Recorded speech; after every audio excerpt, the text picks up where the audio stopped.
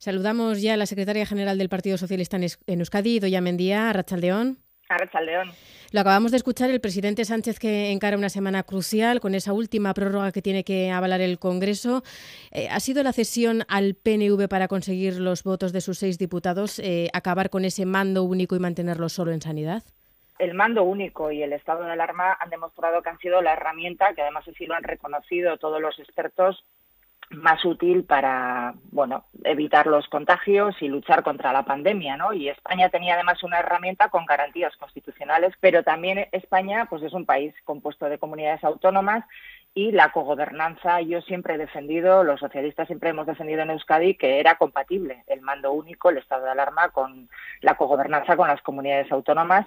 En esta ocasión de lo que se trata es de terminar con todas las fases de la desescalada protegiendo lo que hemos conseguido, ¿no? Y por lo tanto lo que necesitamos son políticos que estén a la altura de las circunstancias, que aporten serenidad y confianza a la ciudadanía y para eso es necesario que el estado de alarma se restrinjan hasta el finales de, junio, ¿no? Y yo creo que eso es lo que se está trabajando en esta semana y que el miércoles se tendrá que votar en el Congreso de los Diputados y que yo espero que cuente con el mayor respaldo posible. De vuelta a Euskadi, algunas voces desde su partido han lamentado eh, la descoordinación del gobierno vasco en esta desescalada dicen que no está siendo la mejor.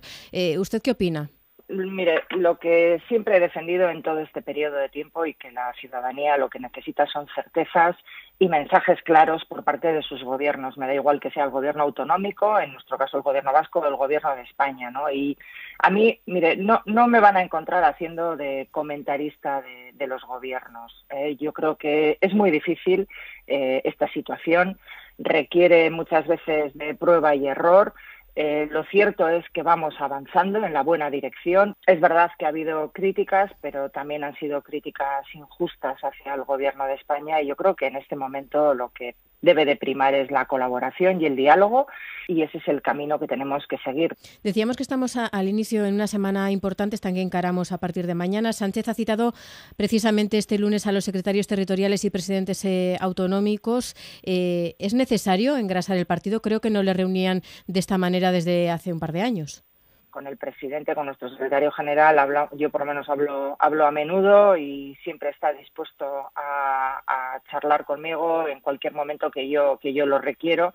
Pero es verdad que estamos en un momento complicado, difícil y bueno, que compartamos todos y nos veamos todos a la vez, eh, de alguna manera, pues puede resultar positivo para, para la reflexión conjunta del, partido. Mm, en los últimos días, eh, señora Mendía, dos cuestiones más han aparecido pintadas en las casas de pueblo, también en Bachoquis o en la sede de Podemos en Portugalete. ¿Esto es síntoma de un retroceso?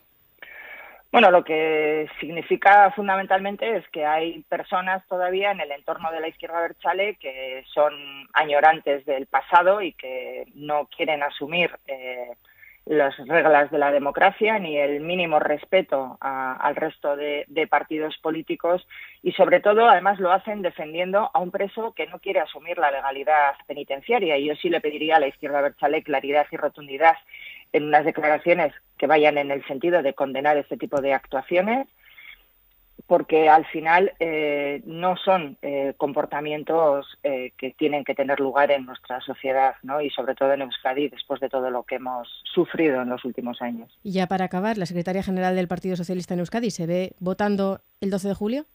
Lo cierto es que necesitamos un Parlamento que controle al Ejecutivo. Tenemos un Gobierno vasco que no tiene un Parlamento que le controle, tiene solo una Diputación permanente para cuestiones muy menores. Y en Euskadi, igual que en el resto de España y en el resto de Europa, vamos a tener que tomar decisiones muy radicales para hacer frente a los efectos económicos y sociales que nos va a dejar la pandemia. Y para eso necesitamos un Parlamento activo, a pleno rendimiento. Y eso solo se puede conseguir con unas elecciones y que votando la ciudadanía. Así que nosotros lo único que le hemos pedido al Endacari es que tenga en cuenta cuando convoque las elecciones si vamos a poder garantizar la seguridad y la salud de los ciudadanos vascos y en ese caso, pues nosotros estaremos de acuerdo. Bueno, pues veremos si finalmente el Endacari convoca esas elecciones en verano o lo deja para después del, del verano. Y Doña Mendía, secretaria general del Partido Socialista en Euskadi, gracias por haber atendido a la llamada de la SER. Muchas gracias, Agur.